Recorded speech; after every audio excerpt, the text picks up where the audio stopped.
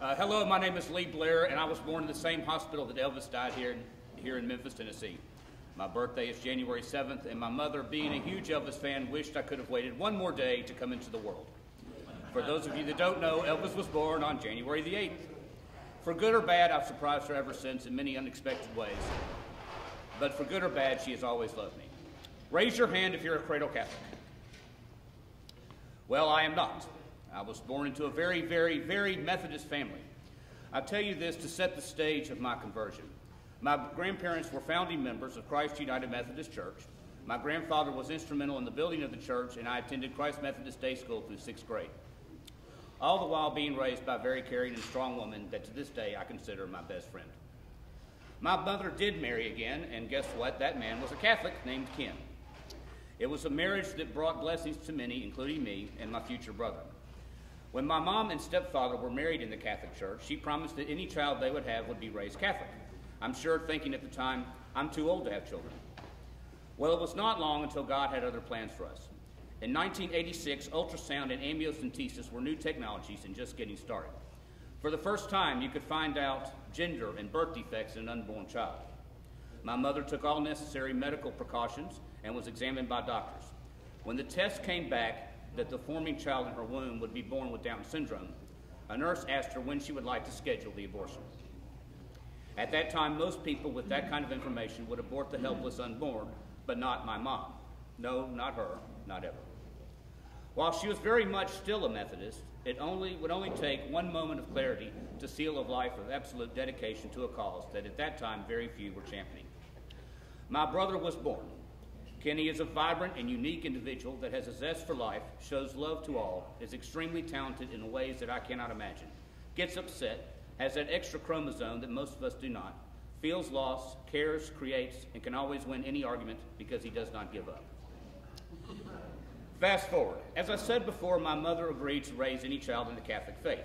But remember, we were good Methodists. So while Kenny was being taken to the Catholic Church and in a way learning the faith, it was not a really good foundation for him. I asked before how many of you are cradle Catholics? Well, how many of you know enough about the faith to teach a Down syndrome child? My stepfather, while being a devout Catholic, did not know the answers or how to have his child grasp the wonder of the faith. He was raised a Catholic and knew, knew, knew no other religion. Although we have never talked about it, I think he was most likely overwhelmed at what to do and how to do it. Kenny attended confirmation classes that were taught to every child. There were no special classes for someone with developmental disabilities. I'm certain he tried, but he still had questions. On a whim and a prayer, my mother asked, Is there a class I can take to learn about the faith? Well, yes, there is. Journey to Catholicism, or JTC, had been started by Monsignor Buckingham. My mother, being the absolute champion of both her sons, thought, well, I'll go and see what this Catholic thing means. She was moved, she was inspired, and she became a Catholic. And not just any Catholic, she got involved. Both my mother and stepfather attended JTC, sponsored converts to the faith, and contributed to so many just looking for answers. Now for the rest of the story. I was completely down and out. I had lost my job and moved back to Memphis because basically I wanted to be back home and had really nowhere else to go. My mother, for years, had quietly mentioned the Catholic Church. I was certainly not very religious at the time. I did not attend any church, was extremely self absorbed, thought I was so very clever, and really had no clue about anything. But to become a Catholic, oh no, not me. I'm a very proud Methodist. Not a very good one, but still, I was a Methodist. After moving back, Mom told me about JTC and asked if I would just come and check it out. I did not want to at all, ever, under no circumstances. However, my mother wanted me to, and so being a good son, I did. I liked the talks. I liked Monsignor, who had a cigarette with me during breaks. I liked the history, and I loved that my mother was in love with the Catholic faith, but I was not convinced. I struggled with an overwhelming desire to be a part of the faith that had been a renewal of my mother's conversion. I wrestled with the knowledge that I was a Protestant that reviled the Catholic Church. I thought about the impact this church, our universal church, had had on the spiritual development of my little brother. On the day of the Easter Vigil, I met and argued with the deacon.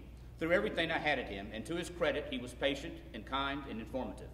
Finally, he asked, Do you want to be a Catholic?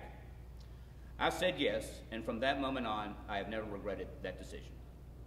Yesterday marked the 32nd anniversary of Kenny's birthday. If he had not been born, I would most likely not be a Catholic and not be religious in any way. I love that he is here, and now I want to share a video with you. It's Company D, a dance team that features Down syndrome adults under the direction of Darlene Winters. Hey! Hey, look, hey, Lee! Hey! Where's my hug? Give